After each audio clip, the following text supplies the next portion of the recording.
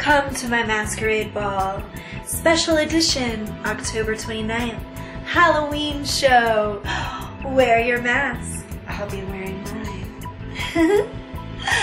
I'll see you there.